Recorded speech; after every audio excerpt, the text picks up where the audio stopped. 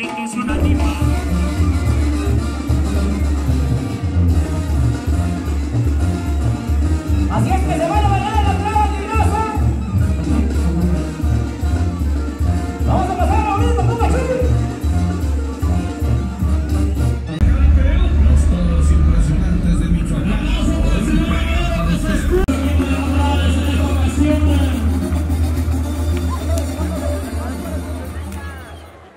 Salve, señoras y señores, por aquí ya tenemos al señor ganadero, al amigo José Luis Guillén directamente desde Bella Jiménez, Michoacán, eh, para México. ¿Cómo quedaron la lista? Ahorita llamamos a los. Bríndenme el aplauso, señoras y señores. Allá está el muchacho Casea, también levanta la mano. Bríndenme el aplauso, señoras y señores. Nos vamos al siguiente casillero, es el número 3, se llama Meliquini. Y es nada más y nada menos que Chuequín. Hacer eh, una pequeña oración, vamos a pedirle a toda la gente. Una pausa en este evento para pedirte a ti que nosotros los jinetes no te pedimos favores especiales. Es que en esta tarde noche mis compañeros y yo hemos venido con el pan de cada día, pero también sabemos que se hace que salgamos todos librados y que cuando se llegue un rodeo, cuando mis piernas se aflojen con todo y escuela, cuando mi espalda y mis brazos no soporten más el chicoteo del último reparo, si me ves perdido, no me dejes solo, Señor. Bríndame tu mano, enséñame el camino y. Fuera gente, dale puerta, vengan conocer mis valientes, pasa, hijo mío, que tu monta de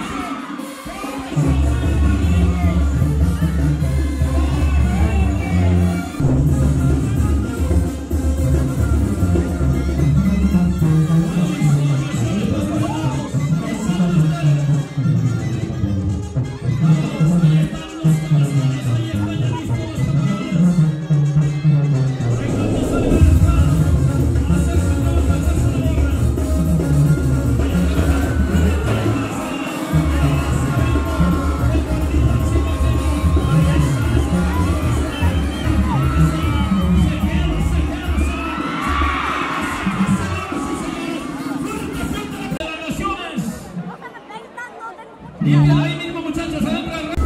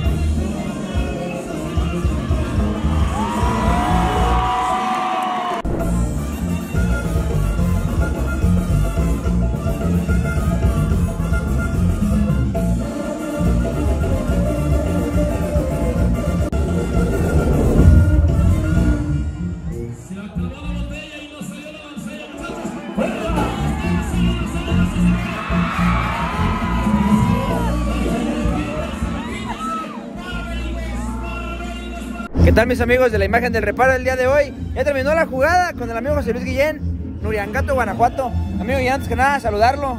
Amigo, aquí ya terminando con las fechas del mes de mayo. Gracias a Dios tuvimos bastante trabajo. Ahora junio, gracias a Dios bien igual. Mi amigo Guillén, hoy se vio pues algo bastante impresionante, como lo dice la ganadería. ¿Qué se siente trabajar con una plaza, es decir, un, un sold out completamente, pues la plaza?